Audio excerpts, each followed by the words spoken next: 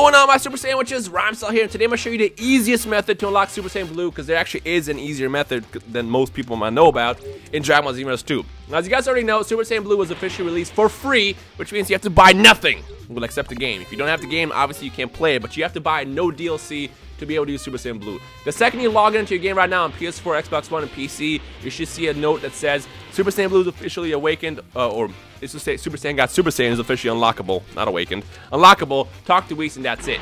But it does say you have to be level 90. Now the question is, is Rhymestyle? I don't have time to get to level 90. What do I gotta do? Well, I got you. If you notice in the top right corner, it says I'm level 87, and if I pull up my moves, bam!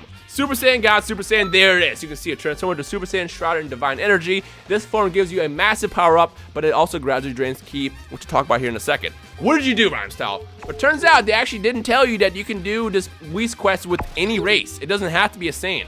So what I did is, is I logged into my level 99 Frieza race character, I talked to Whis, I finished the uh, quest, and then afterwards what you have to do is you have to max out the friendship, which if I go all the way to the left over here, as you can notice, I have it at zero. Now, here's the thing. It's actually pretty easy to max it out, and I'll show you in two seconds how to do that. Now, it doesn't really matter which quest you actually do, but what I was actually doing in the meantime, because I might as well grind Dragon Ball, so I'm doing it, is I went to quest 23, the one where you fight Frieza, and then afterwards three time patrols show up so you can fight them as well and get Dragon Balls as well. You might as well kind of like kill two birds with one stone.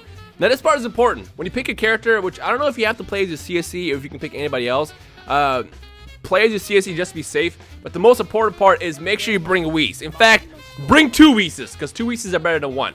Now, what you're going to do now after that is you're going to sit in this quest for the next 20 to 30 minutes, doing it over and over again, filling out your friendship. Now, unfortunately, because I can't train with Whis, I can't show you how much friendship you get. But again, it took me literally about 20 minutes to get it maxed out to 100%. And after that, all you do is talk to Whis, and bam, you get it.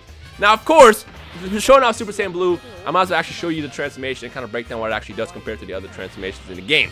Wow, I said that really, really fast. So, first things first, you need 5 bars to activate it. So let's go ahead and get to the point where Frieza's not attacking me. And look at that animation. Oof, that looks absolutely nice. Now, the first thing you'll notice is your Ki is draining. It's draining fairly fast. Why?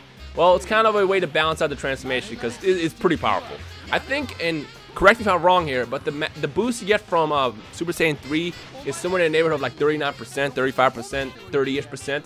With Super Saiyan Blue, it's like 45-ish, so it's pretty powerful. So they have to kind of add some kind of way to balance it out so you're not just absolutely obliterating everybody online, uh, which is understandable. It does give you a boost. Like, watch, this is about to kill Frieza if I hit him. Yay! Yeah, he's dead. Now notice, watch this, watch this, watch this. Up, up, up, up. I just turned back to my base form. When you run out of Ki, you don't stagger and break like you do with Kaioken. You just simply revert back, revert back to the form, and then all you gotta do is charge back up, get the 5 bars, and you can transform again. So that's actually pretty cool. Unlike Kaioken, where you stagger, you're left wide open, your stamina breaks, and then you get destroyed, you're kind of safe to do this move without having to worry about different issues in the game. Uh, but yeah, let me actually show you real fast once, one more time. We can kind of focus my character.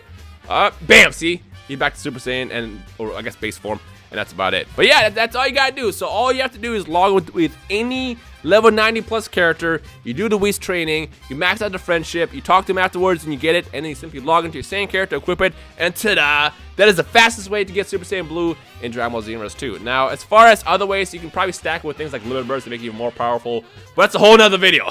that's a whole nother video. But for now, that's a quick tutorial on how to get the transformation, and that's it. So with that said, let me know your thoughts in the comment section below about Super Saiyan Blue. Is it yay or nay? Any other questions you might have, you can also tweet me at Rhymestyle, and I'll do my best to answer if I see the tweet. But other than that, I hope you guys enjoy us today. My name is Rhymestyle. Enjoy Super Saiyan Blue, and I'll see you guys next time. Peace.